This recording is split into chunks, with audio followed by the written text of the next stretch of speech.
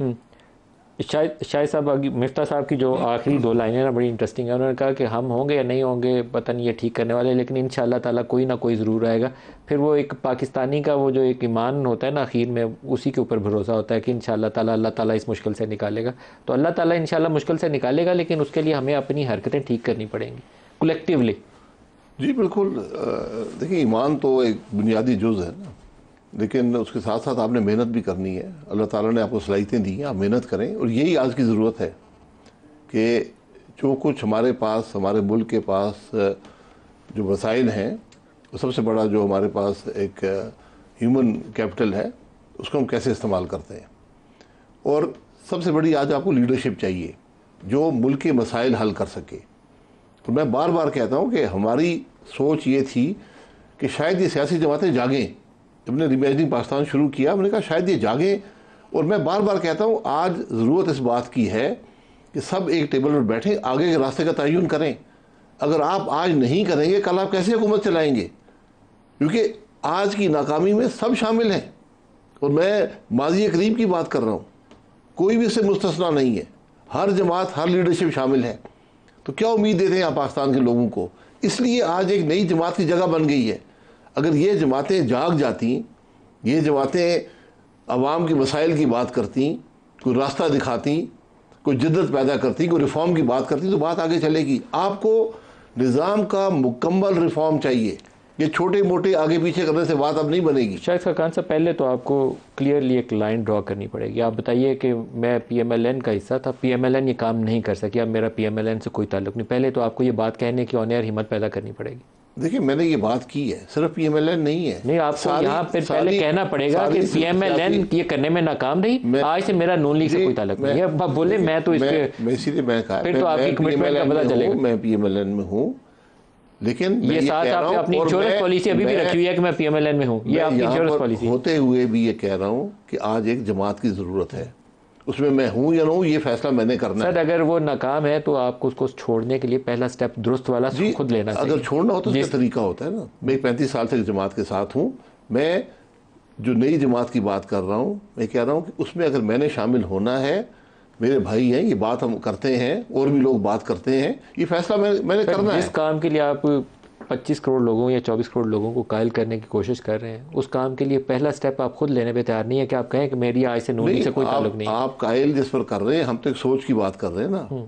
जब सियासी जमात बनेगी क्या उसका मैं हिस्सा बनता हूँ नहीं बनता हूँ? ये मैंने मुशावरत से फैसला करना है। अपने हल्के के वहाँ से मुशावरत करूँगा आपसे मुशावरत करूँगा फिर ये फैसला होगा ये भी यही करेंगे। तो आप अभी कन्विंस नहीं है कि आपको नई सियासी जमात की तरफ़ जाना चाहिए? कन्विंस नहीं तो यहाँ क्यों बैठा हूँ? आप दोनों बातें कर रहे हैं। नहीं मैं ये बात कर रहा हूँ कि एक सियासी जमात की ज़रूरत आप है। लोगों का रिएक्शन देख रहे हैं इसके अलावा आप कुछ नहीं कर रहे क्योंकि आपको फ़र्स्ट स्टेप लेते हुए गुरेज है मैं बिल्कुल कोई रिएक्शन की बात नहीं कर रहा हूँ।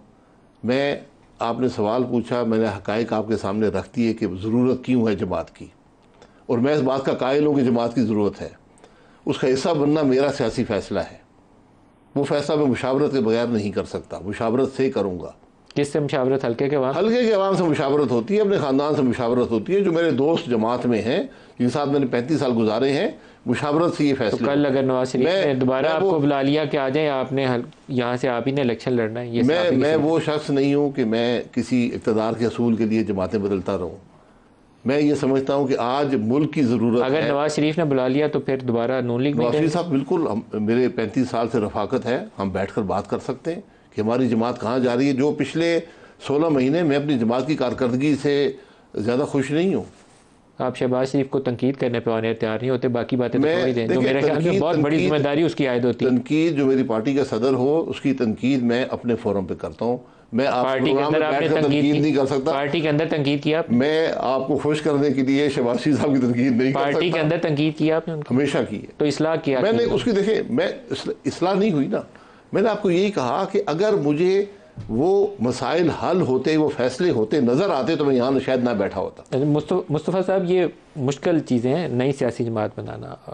पाकिस्तान में आम तौर पर वो अभी भी कहते हैं, जियो भुट्टो, उसी का वोट मिलना है, क्योंकि भुट्टो का नाम छोड़ा। उन्होंने बिलावल के साथ भुट्टो का नाम इसलिए जोड़ा था कि भुट्टो का वोट है। भुट्टो का नाम नहीं छोड़ा जा सकता। नून लीग ने नून लीग साथ नून इसलिए लगाया कि नवाज़ शरीफ का वोट है। इमरान खान को आप पीटीआई से निकालें तो देर इज़ नो पीटीआई ये इमरान खान का वोट है। जिसको मर्ज़ी वो खड़ा कर दे, वो वोट इमरान को पड़ता है। आप में वो कहाँ है? वो कौन सा पॉपुलर फेस है? वो अपील क्या है जो खींच के लेके जाएगी? एक तो सबसे पहले नदीम भाई, ज़रा डायनमिक्स देखें कि इस वक्त हैं क्या। एक फंडामेंटल कुछ तब्दीलियाँ आई हैं ऑन ग्राउंड चंद दिन पहले ईसीपी ने कुछ डेटा रिलीज़ किए। 12 करोड़ 70 लाख इस मुल्क के अंदर वोटर है। उस 12 करोड़ 70 लाख में से 5 करोड़ 70 लाख इस मुल्क में 35 साल से कम पैंतीस साल असल चैलेंज सबसे बड़ा वही अच्छा है अभी तकरीबन आधा आधा वोटर है। ठीक और, बार- और उसमें से काफ़ी मेजोरिटी पीटीआई की वोटर है। Exactly. Keep that in mind exactly अच्छा अब इसमें जो बाकी दो पॉलिटिकल पार्टीज़ हैं मेरे मेरे नुक्ता नज़र में मेरे ख्याल में मेरे एनालिसिस में पीएमएलएन हो गई या पीपल्स पार्टी हो गई या जमीयत उलमा सलाम हो गई या दीगर जमातें हो गई उनकी कोई आउटरीच नहीं है। एक परसेंट भी उस उस अंडर थर्टी फाइव वाला जो तबका है, वो इन जमातों के साथ उसकी कोई होप नहीं है। और यहाँ पर इंटरेस्टिंग मेरी ऑब्जर्वेशन है, आप उसे ज़रूर एवेल्यूएट कीजिएगा कि अगर हम तस्वुर कर लें एक लम्हे के लिए कि इमरान खान साहब के साथ सिर्फ़ सौ लोग हैं। उन सौ लोगों में से मेरे ख्याल में तीस से चालीस लोग वो हैं जो इमरान खान साहब की सियासत से मुतासर हैं या उनकी शख्सियत से मुतासर हैं। साठ से सत्तर वो लोग हैं जो इनको देखना नहीं चाहते बाकियों को। जिस दिन उन लोगों के सामने कोई क्रेडिबल ऑप्शन होगी तो वो लोग वहाँ से मूव करेंगे। अभी अगर आप ये तो कर लें कि वो पाँच करोड़ सत्तर लाख जो नौजवान है उसमें से जितनों ने भी वोट डालनी है कि उनके लिए ये पॉलिटिकल पार्टीज़ उनकी कंसिडरेशन में होंगी तो ये बिल्कुल नहीं होगी। आप तो, भी नहीं होंगे। देखिए ये तो हमारा आ, करता ना। आपको पहले अपनी स्टैंडिंग उन लोगों को उन बच्चों को 35 साल से कम वालों को स्टैब्लिश करनी और और मेरा ये ख्याल है एग्जैक्टली कि हमें अपनी स्टैंडिंग स्टैब्लिश करनी होगी वो हम सिर्फ़ अपने किरदार से मिफ्ता साहब से क्लोजिंग रिमार्क्स ले लें बिल्कुल एंड पे आ गए। मिफ्ता साहब क्लोजिंग रिमार्क्स ये मुस्तफ़ा ने बिल्कुल दुरुस्त कहा है कि ये जो 35 साल से कम उम्र वाला वोटर है ये सबसे बड़ा चैलेंज है ये इलेक्शन का रुख मुतयन कर सकता है। क्या आपके पास कुछ ऐसा प्रोग्राम कुछ ऐसा स्लोगन नारा मौजूद है जो इनको अपील कर सके? सर सच्ची बात यह है कि हम नारों की सियासत से आगे बढ़ना चाहते हैं। कि एक नारा लगा दिया कि ये होगा तो वो होगा। ये नारे से आगे निकलना है। हमको, हमारे बच्चों को तालीम देनी है, हमारे बच्चों को नौकरियाँ देनी है और जो हमारे भाई बहन नौकरी कर रहे हैं या मेहनत कर रहे हैं, पैसे कमा रहे हैं, उनके लिए महँगाई कम करनी है। ये हमारा प्लान है कि पाकिस्तान के अंदर एक आदमी जो कि मेहनत करके कैसे कमा रहा है, वो एक डिसेंटली रह सके, अपने बच्चों की कफालत कर सके। अब इसके लिए आपको लोकल बॉडीज को आपको लेके जाना पड़ेगा, जो आप रिफॉर्म्स की बात कर रहे थे। लोकल एम्पावरमेंट करना पड़ेगा, आपको निचकारी करनी पड़ेगी, जो मुस्तफ़ा भाई ने कहा, आपको कोर्ट्स को सिस्टम को आगे बढ़ना पड़ेगा आपको ब्यूरोक्रेटिक रिफॉर्म्स करने पड़ेंगे। बहुत सारे रिफॉर्म्स हैं जो करने हैं जो इस मुल्क में सियासतदान आहिस्ते आहिस्ते इनको टालते रहें टालते रहें टालते रहें। वो आज 20-25 साल का जो हमारा गुना है वो आज जमा हो गया है। अब वक्त आ गया है कि हम इन रिफॉर्म्स को अंडरटेक करें। ये हमारी सिर्फ़ इस्तः है। दुरुस्त है। मिफ्ता इस्माइल साहब मुस्तफ़ा नवाज़ खोखर साहब और नबासी साहब, आप तीनों के लिए बेस्ट ऑफ़ लक भी है और प्रोग्राम का वक्त ख़त्म हो रहा है। हम इस टॉपिक को आइंदा भी आपसे डिस्कस करेंगे जैसे जैसे इलेक्शन का प्रोसेस और आगे चलता है। आज के प्रोग्राम से इतना ही। इजाज़त दीजिए, अल्लाह हाफिज़।